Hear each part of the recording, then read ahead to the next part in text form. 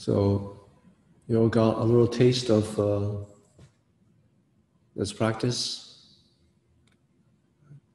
Maybe difficult in the in the beginning uh, because we're so much in the head. It's hard to untangle ourselves from discursive thinking, labeling, and uh, words and language. So when we do that, we're disconnected to the body. We're only up here. So in order to diffuse that habit mechanism, it's very important to relax the body, learn to relax the body. And we're only talking about tactile sensations, not really commanding ourselves to relax, telling ourselves to relax, but activating the, the faculty of the body, sensations, relaxing, relaxing, relaxing, relaxing. So the principle is relax, uh, priming the heart, make sure feeling tone, undercurrent feeling tone is right attitude. Right attitude. What is the right attitude? Don't grasp, don't reject. Not asleep either. Don't grasp, don't reject, content. And uplift. Uplift the mind. Sharpen the mind with great interest in the method. In this, at this time, at least for sitting meditation, at this time. The principle behind it is to cultivate sense of uh, isolation. Isolation. Only doing sitting. Isolating yourself from the past, from the future isolating yourself from the external environment, isolating yourself from all words and language, isolating yourself only to the present. And in the present,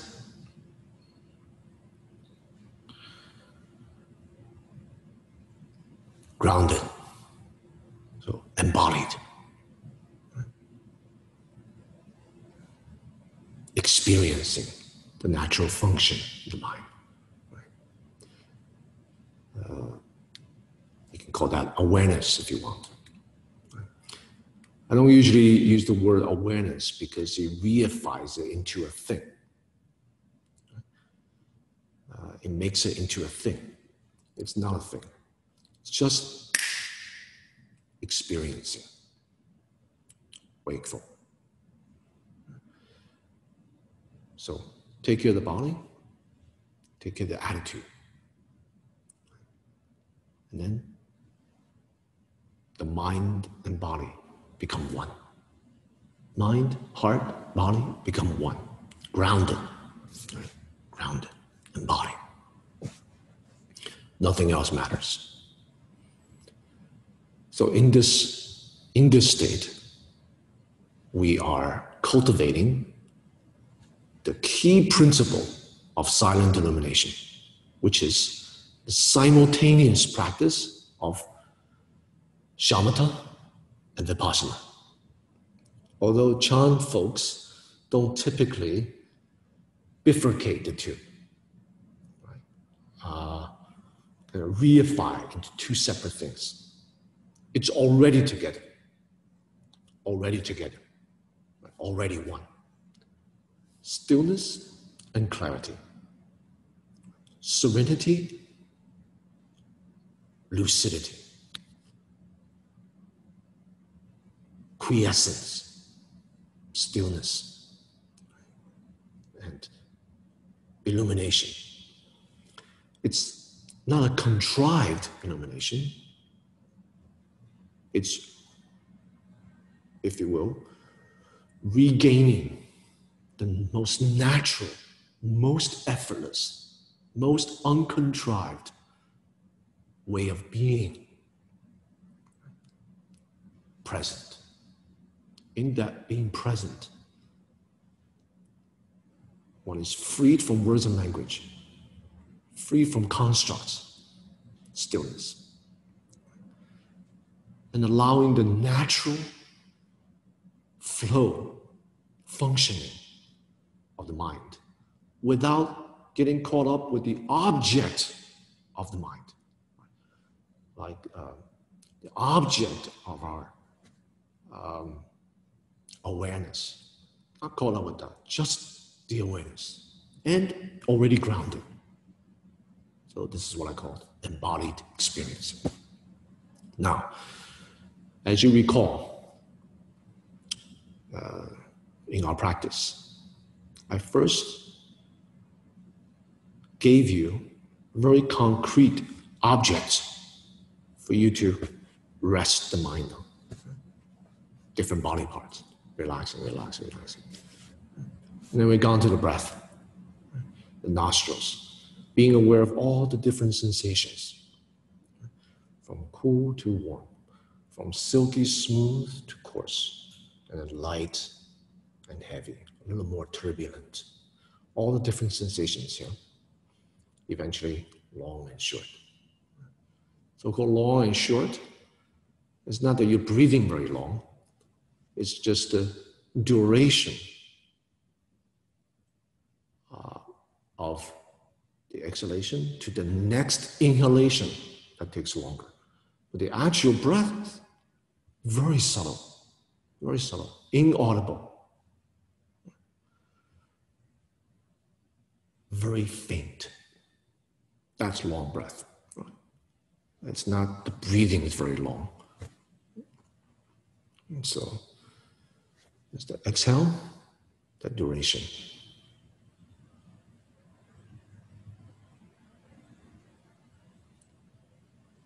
Inhale. Very slow, very slow. Once you reach this point, less concrete right, for the mind to hold on to. You drop down to the abdomen, rise and fall, rise and fall. Uh, perhaps more concrete to feel. So I've given you many different objects. Until this becomes faint, at that time, the mind is refined. At that time, the mind is tamed. You will be able to, without contrivance, open up to the simplicity of the sitting. At the same time, it's not an abstract and notional sitting, it's the concrete experiencing of sitting. Nothing to do with the particulars of the body, just relaxed. The experiencing of groundedness, the reality of sin.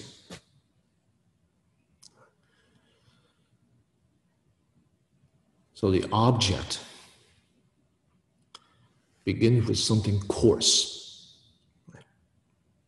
Begin with something coarse becoming more refined, refined, refined, refined. The principle behind this is, and this goes with all methods of practice. Your method must match the state of your mind, the level of distractedness or scatteredness in the mind. If they don't match, for example, the mind is racing, and you use a very simple method, you won't be able to do it. Your mind is already refined, and your method is very complicated.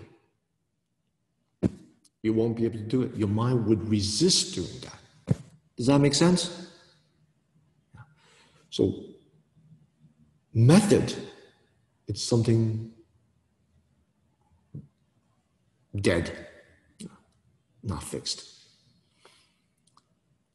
What brings a method to life is our experiencing of it. And there must be uh, a kind of uh, matching. You may use the same method. How many of you use the working with the breath as your method? Raise your hand. Okay. Very good method. So if you use this method, sometime because the state of your mind, the presence of your mind is at different places, different states, you may have to tweak the method. You may have to tweak in the way you use it. And your mind is an indicator. Naturally, you will know. Uh, for example, if a person mind is very scattered, uh, so you count the breath very scattered, you count backwards. You can even count even numbers backwards, odd numbers backwards, until the mind you know, develop concentration. Of course, there are other factors at play here you have to take care of. Maybe the body is not fully relaxed. Maybe one of the most important point is that undercurrent feeling tone that I talk about, agitated, agitated. So no matter what you do, the mind is scattered. So you got to take care of the body, take care of the heart, and then take care of the mind. Once the mind becomes settled, we don't have to count backwards anymore. You may not even have to count anymore. Just experiencing. But the sensations in the beginning may be quite a lot of sensations. So the mind becoming more refined, it's exposing a whole range of sensations here.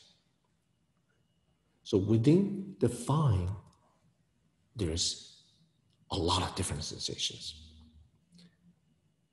And so there's different layers until the mind become more refined and the complexity becomes simple again.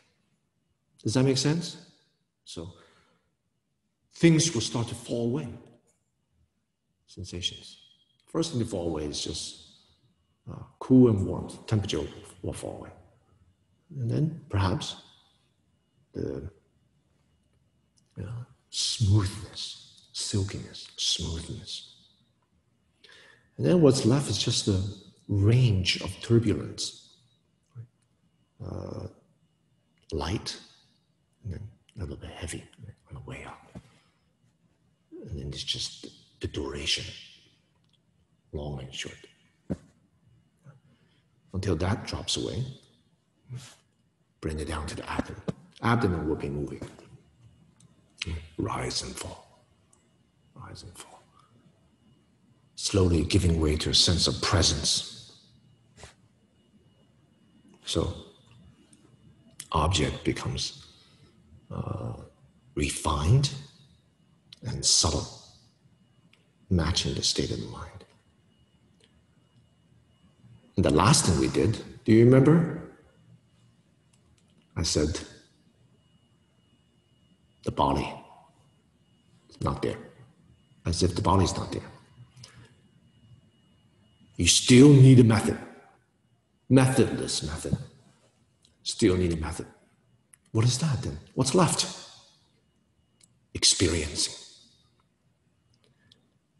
Not caught up with the object of experiencing, just experiencing. The momentum of moment to moment to moment to moment, wakeful, still. That continues. And so it's very important that we have a method of practice. If we don't have a method, then the mind stops, stagnates. So it's like a person walking from point A to point B. As soon as the scenery becomes pleasant, stops walking, just start to enjoy the scenery, like the pleasantness. That is the beginning of the end. That's the beginning of going downhill. So at that time, it's just a matter of time in which the mind scatters again. And the mind is actually grasping, reifying, attached to these states. So uncontrived, completely natural, uh, allowing the mind to free flow, not abide anywhere. Then we accord with our original kind of true nature, which is already free. Attached to the kind of experiences, and then, then you're stuck. So regaining the natural clarity. At the same time, still, yet wakeful. Now, do you all follow so far? Okay.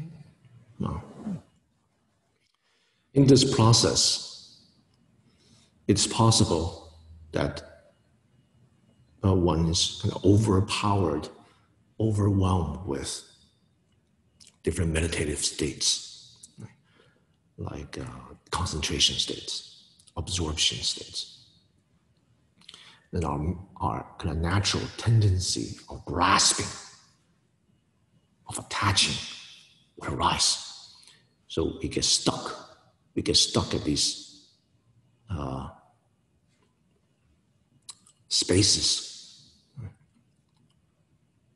jhanas dhyana states, meditative absorption states. That's a problem. Uh, it's natural, but that's a kind of lopsided. It's a kind of attachment. That's why we experience it. So it's don't pat yourself over the back and say, oh, great, I'm on the second jhana now third jhana, I'm, I'm progressing. That sense of progress, that sense of attainment, these states arises on the basis of attachment. There's no wisdom there. So these states are not, uh, they're natural, but they're not something to be proud of from Chan, Chan's perspective. Okay, so a lot of people need a sense of progression, progress, to kind of, uh, uh, you know, many years is always try to get back to that. That's just a, another kind of attachment, spiritual attachment. So, the natural, the natural awakening right now, our original freedom in this moment, the qualities of that. Originally without grasping and wakeful at the same time. So that is the meaning of silent illumination. So silent illumination is not really it's not really a method of practice. It's a poetic expression of the perfection of samadhi, prajna, shamatha, vipassana, stillness and clarity. It's a descriptor, it's an expression. Now, how do we translate that? Every teacher is different.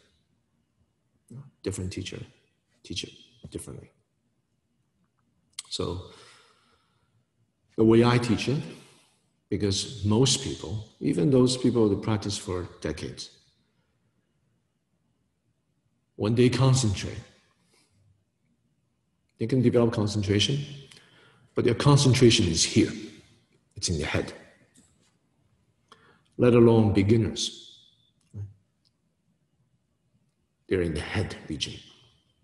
So there's all kinds of side effects. Headache, right? energy getting stuck at different regions of the head, right? uh, tension, Uh, the most obvious side effects is just wandering thoughts, wandering thoughts, right? discursiveness, and the, the disembodied, disconnected. So for that reason, the way I teach it in modern time is progressive relaxation. Bring practitioners back to their bodies, back to their bodies. It's not that the body is the ultimate truth or some kind of uh, uh, way to go. But most people are disconnected. So this is a way to be more congruent, congruent. The body, heart, mind together, together, more in tune, more in tune with themselves. Again, last night I spoke about. Uh, practice, practicing, bring down from the clouds the twofold truth in Buddha Dharma. Dependent arising, emptiness, selflessness, dependent arising, and impermanence. Do you remember how I call those two? Relationships, connection, and new beginnings. So the, the way to embody this practice is building that connection, relationship with your body. So this will get us out of our head out of our headspace. So bring it into the body. That's the way I teach it. Until the concentration, concentration, right? clarity of mind, the experiencing, the body, and the present moment. These three are one. So it's not located. It's not located in the head. It's diffused everywhere. You become whole. Until you reach that point? Proper concentration. So for people that practice, that have some attainment of the jhanas, dhyana, meditative states, they know this very well. It's not here. If it's here, it's questionable. Nowadays, people talk about jhana as if, oh, last retreat I was in the second one, entering the fourth one, I'll come back. it sounds ridiculous because if a person really experienced samadhi, we're talking about days. At least seven, eight hours like that. Completely embodied, not up here. The energy flows completely smoothly. So body and mind, one. There's no separation. Now, these, from a Chan perspective, are side effects. Side effects do happen. Naturally, they arise. We don't attach to them. Keep going. Right? But sometimes it's overwhelming and uh, kind of takes over. But the principle of non abiding, non attaching, will allow us to bring ourselves, continue. Uh, so, very important to train from the beginning body and mind together. Body and mind together. Even if some of you, your goal is not for awakening, your goal is want to get into jhanas. This is good for you. You have to learn to body and mind together. So the concentration the whole presence of your being harmonized, integrated. So you practice this until uh, the temporary crutch body. Bring it from the head down. Temporary crutch the body. Because that will fade away. That will dissipate. Leaving you with a non abiding, non attached, wakeful, uncontrived, natural state of being. The natural, most natural state is not samadhi. It's not jhana. That's a sign of attachment, solidification. The natural state is non abiding, wakeful, free. Just like in this moment, the eyes see, the ears hear, your mind experiences without an object. No need for experiencer either. Everything functions fine. In that moment, the mind is not moved, wavered, pushed and pulled by things because there is no reification. Everything flows. So, silent illumination, different from huatou or critical phrase, uh, sometimes referred to as koans, public case. This is another practice, distinctively Chan. First one, silent illumination or mo zhao. Second one is critical phrase, contemplating uh, cases. It's irresolvable cases, gong'an, koans. These two approach our natural being from, from different angles. So, silent illumination.